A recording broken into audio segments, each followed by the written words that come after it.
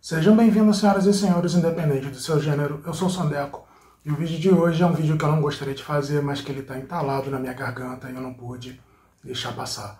O vídeo de hoje é sobre racismo.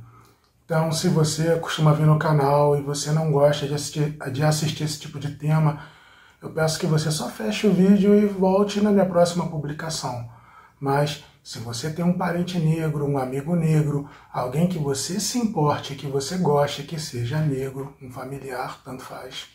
Então assista esse vídeo porque ele é muito importante, tá? É um vídeo triste, mas que precisa ser dito.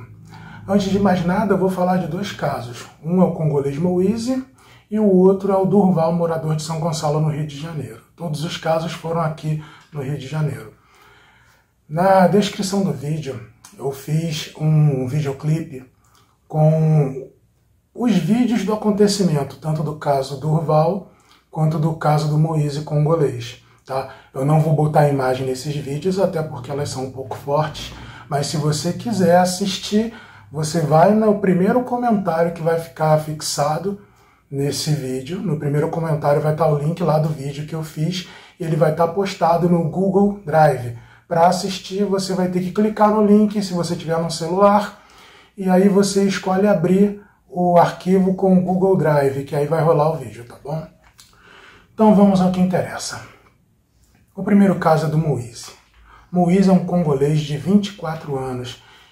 Isso aconteceu foi no dia 24 de janeiro de 2022. Foi o primeiro caso. Moise foi buscar uma dívida salarial num quiosque na Barra da Tijuca, na praia, e ele foi espancado por quatro pessoas durante seis minutos. Ele foi espancado. Bateram nele 40 vezes com um taco de beisebol. Gente, a crueldade foi tamanha. Mas por que isso aconteceu? Isso aconteceu por dois fatores que existem no Brasil: xenofobia e racismo. Você vai até pensar que é um contrassenso, né? Porque geralmente brasileiro gosta de estrangeiro, mas gosta de estrangeiro com dinheiro, tá? Um americano branco que vem de fora, um japonês que também vem de fora, um alemão, italiano, tanto faz. Uma pessoa branca e de preferência que tenha condições financeiras. Agora, quando se trata do povo congolês, que é um povo pobre, que vem para cá sem condições, que vem disputar mercados de trabalho, que vem disputar, e, e, que não traz, digamos, riqueza, existem dois fatores contras. Um é a cor, que a pessoa já não gosta, mesmo racista, e o outro fato é justamente a xenofobia, aquele, aquele sentimento que algumas pessoas têm de pensar assim, pô, aquele cara vem de lá de fora para poder roubar o meu emprego, para poder gerar mais miséria no meu país. Então é isso os vendedores, alguns vendedores lá, pessoas que trabalham no quiosque, que também a maioria são de cores negras mesmo, espancaram o Moise. Então isso, isso foi horrível, eu não sei nem o que dizer. Mas eu só sei que isso não pode continuar. Mas é, eu não vou me, me, me atentar muito, não vou me adentrar, me adentrar nesse fato, tá? Porque o vídeo está lá, você vai ver. Assista o vídeo porque o vídeo fala por si só. Não tenho comentário para poder fazer, além desse que eu já fiz. Tipo, se for estrangeiro branco com dinheiro, o brasileiro trata assim. É, papão de ló. Agora, se for negro que vem de fora e sem dinheiro, é tudo agravante e aí ele tem o ódio das pessoas. Ele não tem o mesmo tratamento do turista gringo ou do, ou do cara estrangeiro que veio morar aqui no Brasil. Mas vamos rápido que é para o vídeo não ficar muito longo. Tá? Vou ler aqui uns dados, desculpa que eu vou ler mesmo. Moise, 24 anos, veio do Congo espancado por 40 pessoas, por, por 4 pessoas durante 6 minutos, levou 40 pauladas. O resumo é esse, tá? Isso foi no dia 24 de janeiro de 2022. Nove dias após que foi no dia 2 de fevereiro de 2022, aconteceu outra coisa, que foi justamente o caso do Durval. O nome dele é Durval Teófilo Filho. Ele foi morto com três tiros. Ele tinha apenas 38 anos, era um pai de família. Como Durval morreu? Durval morreu vítima de racismo. Olha o que, que aconteceu. Esse é o caso mais absurdo e isso me, me, me causa uma angústia que eu não consigo expressar para vocês o que me causa isso de, de tão bizarro? Um sargento da Marinha é, Durval, vou explicar a história do início. Essa tem, tem uma história por trás. Durval morava numa comunidade, uma favela no Rio. Então ele se mudou para um condomínio em São Gonçalo para poder dar mais segurança para a esposa dele e para a filha dele pequena. Então ele mudou para fugir da violência.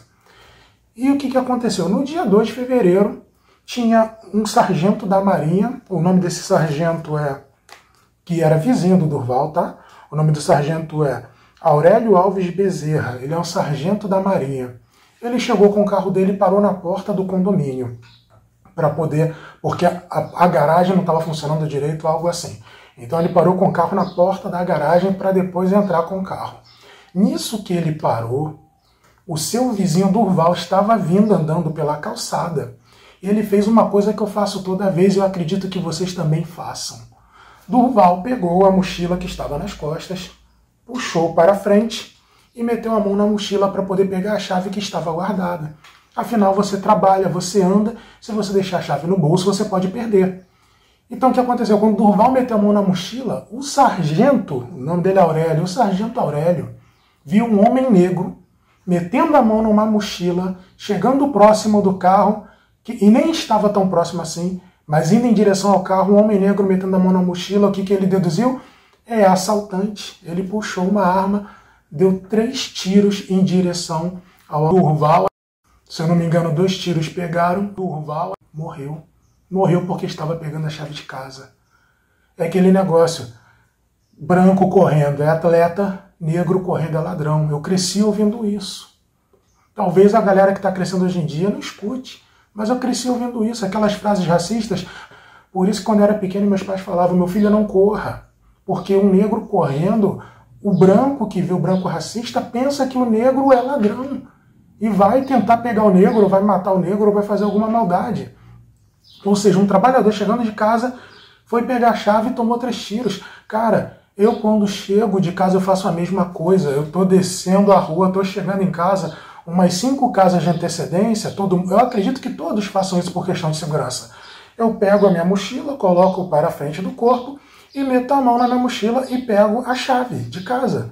Por quê? Porque se você deixar para tirar a chave de casa na porta, você pode ser surpreendido por um ladrão.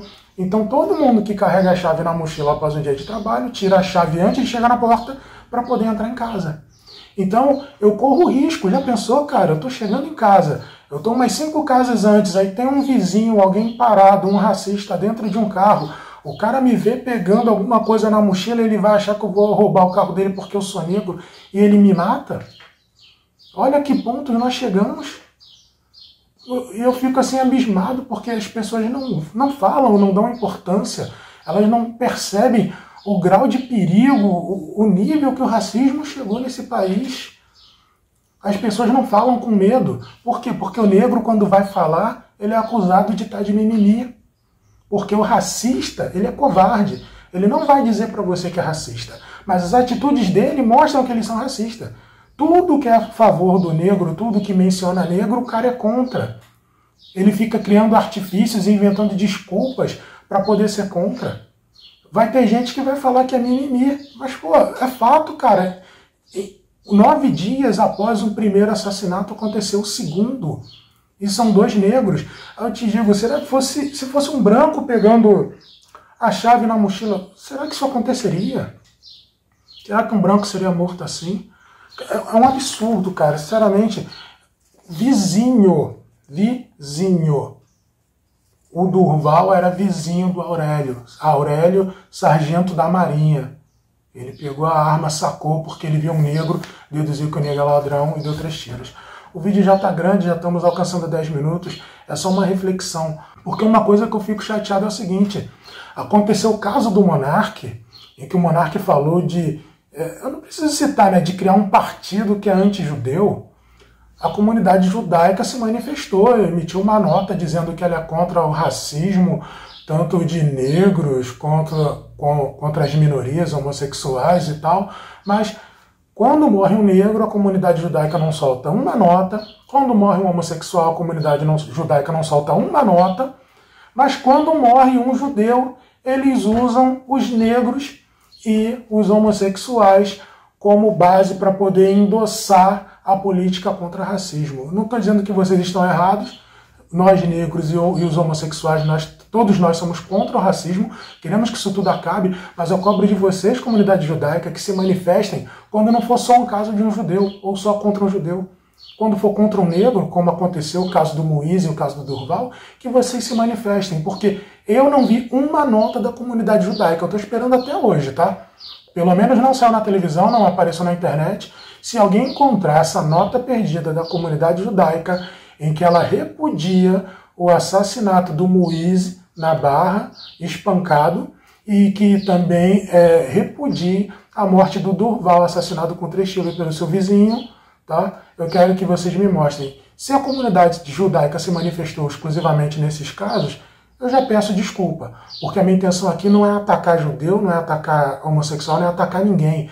A intenção é fazer com que vocês acordem, porque quando não se manifestam, quando um, um negro morre, você pensa assim, não foi um negro. Então, não foi. Eh, quem é homossexual, não estou dizendo que pensam assim, mas vamos colocar um caso hipotético, tá? Antes que vocês falem besteira. Hipoteticamente, um, um, um homossexual vê um negro morrendo, ele, ah, não, não, é, não é homossexual, não é comigo. Um judeu vê um negro morrendo, ah, não é judeu, não é antissemitismo, não é comigo. Sabe o que acontece? Esse tipo de pessoa covarde ou racista, ele vai pegando mais força, ele vai pegando mais ódio, ele vai achando que ele pode ir além. E ele vai além. Tanto é que atacam negros, começaram a escalar, atacando homossexuais, que também sempre sofreu muito, e hoje em dia o antissemitismo está aí. Tanto é que o caso do monarca defendendo um partido anti-judeu, não que tenha sido a intenção dele, mas só o fato de defender um partido assim, não existe desculpa. Não existe desculpa. O antissemitismo e, e os seguidores daquele cara do bigodinho estão crescendo. Por quê? Porque esse tipo de pessoa comete atrocidades, cometem racismo e a sociedade não dá um freio neles, não dá a punição severa que deveria ser dada para servir de exemplo, para poder mostrar que nós não aturamos mais que esse tipo de coisa aconteça. Só para vocês terem noção do absurdo, contra o negro pode tudo. O presidente da Fundação Palmares, o Sérgio Camargo, ele teve desplante de falar uma vez que o racismo foi benéfico para os negros. Cara, já imaginou se fosse contra o judeu falar que o holocausto foi benéfico para os judeus? Que os campos de Auschwitz foram coisas boas para os judeus? Se ele tivesse falado isso, cara, já tinham arrancado a cabeça dele, ele já teria saído da Fundação Palmares. Mas contra o negro vale tudo. Ninguém respeita a dor do negro. Ninguém. Falar que, que a escravidão foi benéfica para o negro Pô, se você vê um burro sendo feito de escravo, puxando carga na rua, a pessoa fica com pena. Ela não quer que o burro faça isso, mas o negro fazia isso que o animal faz hoje em dia, que as pessoas são contra, e mesmo assim ninguém se sensibiliza, cara. Que, que negócio é esse? Que mundo é esse? A gente não pode deixar que isso aconteça. Então, nós temos que tomar uma atitude, temos que nos unir e temos que impedir que isso continue acontecendo. Esse pode ser o último vídeo que eu estou fazendo. Eu posso sair amanhã e quando eu chegar em casa for pegar a minha chave na mochila, eu posso ser assassinado. Vocês já pensaram nisso? Aí, pô, o Sondeco sumiu, o que aconteceu? Ah, morreu, pô. Confundiram ele com um bandido. Ele foi pegar a chave na mochila, deram três tiros nele. Já pensou, cara? E o seu tio, você deve ter um tio negro, seu amigo de colégio, seu amigo de, de, de rua, de infância, tanto faz. Já pensou? Você perdeu um amigo porque deram uns tiros nele, porque olharam ele, e o cara é negro, negro é ladrão. Então toma. Não é? Então, vamos nos unir, comunidade negra, comunidade judaica, comunidade LGBTQIA+. Como eu falei, o link está na descrição, tá? Na descrição, não desculpa, no primeiro comentário fixado o videoclipe que eu fiz sobre esses dois casos, do, o do Moise congolês e o do Durval, trabalhador chegando em casa assassinado pelo vizinho racista. Eu tenho que dizer que ele é racista, pelo menos ele teve uma atitude racista. Viu um negro e deduziu que a ladrão e atirou, não existe outra coisa que eu possa dizer. Então assista ao vídeo, tá? Eu botei uma música do Legião Urbana, é um clipe, o nome da música é Um Dia Perfeito do Legião Urbana, e e eu coloquei as cenas de tudo que aconteceu, tudo que vocês precisam ver, tá bom? É, gente, eu vou pedir, compartilhem esse vídeo com seus amigos, com seus familiares, com todo mundo. Vamos ver se a gente consegue mudar esse tipo de consciência. Vamos todos nos unir contra o racismo. Gente, um abraço, obrigado por assistirem esse vídeo e até mais.